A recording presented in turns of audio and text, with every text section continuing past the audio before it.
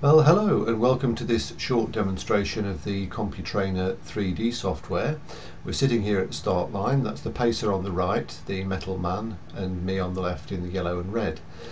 When I press the F3 button on the controller we'll get this 3, 2, 1 countdown and then the go and we're off.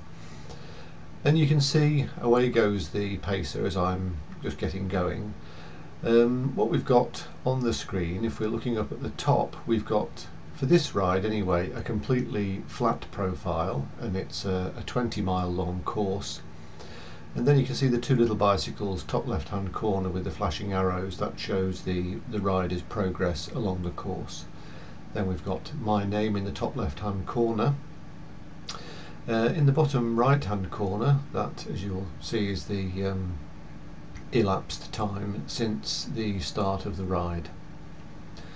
Um, the software allows you to toggle on or off a drafting facility and if you've got that switched on which you'll see in a, a moment or two um, if I ride up behind the metal man the load that the CompuTrainer applies becomes considerably less and you get a, a much um, easier ride very very realistic in comparison to riding on the road so you'll see that shortly.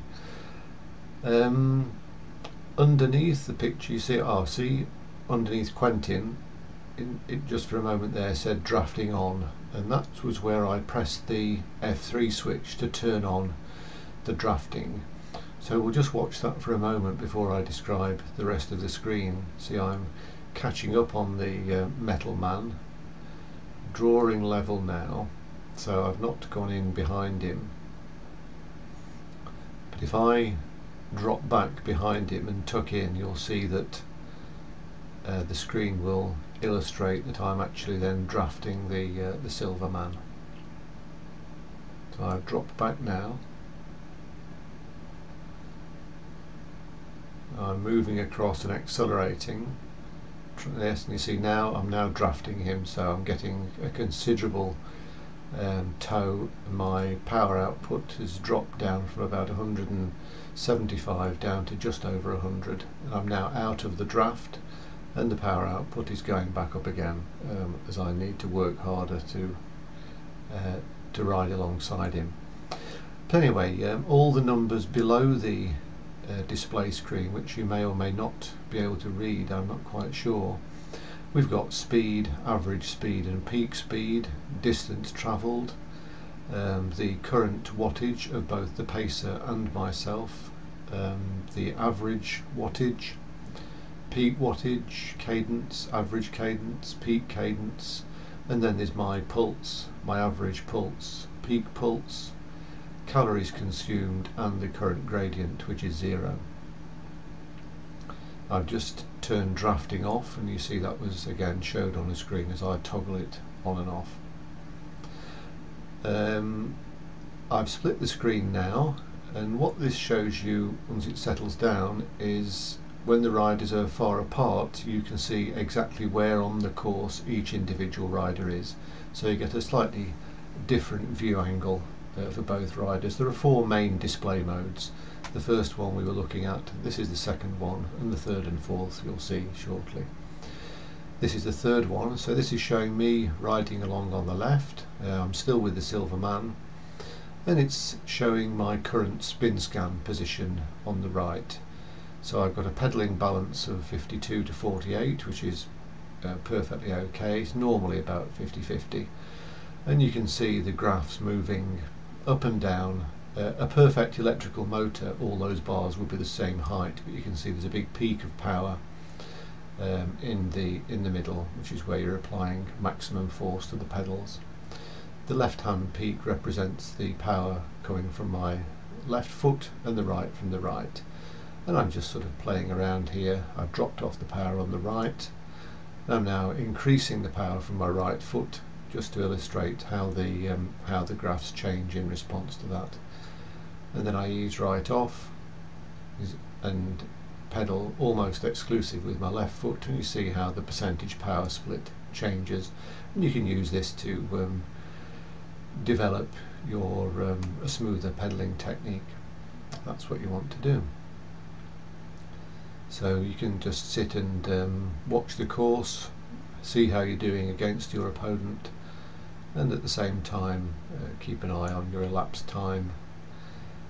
And I've now switched over to the um, the fourth display mode which is um, a different representation of the spin scan information. You can see we've still got the left right pedal split and that white line represents uh, whereabouts and how much um, torque I'm applying to the pedals the two red horizontal lines represent the um, average torque angle on the pedals um, so you can see my average torque angle for my right leg is 99 and my left um, is about about the same. They're both about the same. For perfect efficiency, 90 degrees would be ideal because that's when you have the maximum leverage on the pedals. So switching back to the main screen again, see we've now um, gone through almost six minutes of this ride. I'm just showing the, the first part of it. Another thing I'll point out on the screen is above all the numbers there's a little row on the left hand side and the, the sort of top of the display where the numbers are there are three red numbers on their own and they represent the uh, cumulative training stress score the ride intensity factor and the current normalized power figures for the ride and those people who are familiar with training using power meters will be very familiar with those terms but it is nice to have them displayed in real time. You see I'm having another draft there. I'm just switching through the different um, display modes to give you a reasonable idea of uh, how it all works. So going back to the uh, spin scan now.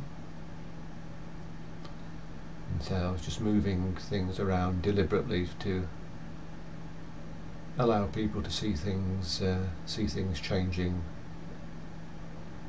in response to my changing pedal stroke.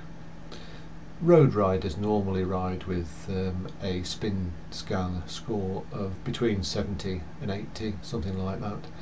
A very smooth pedaler would pedal consistently um, with a very high spin scan of 80 or above. I, I find personally that if I um, am riding at a higher percentage of my functional threshold power, uh, there is a definite uh, reduction in the um, spin scan score as one would expect if you're working harder your pedal stroke is going to be uh, or is likely to be um, less smooth as you attempt to get the maximum downward force on the pedals and the extreme of that would be when you're actually standing on the pedals climbing. So we're now coming up to the 8 minute mark just looking at the general scene I hope that this little demonstration has been of um, of some interest it really is a, a fantastic training tool I don't use the 3D all the time uh, but it's nice to use it sometimes uh, to break up indoor training and do things in different ways. So I'll sign off now. I hope you enjoyed that and good luck with your training. Bye.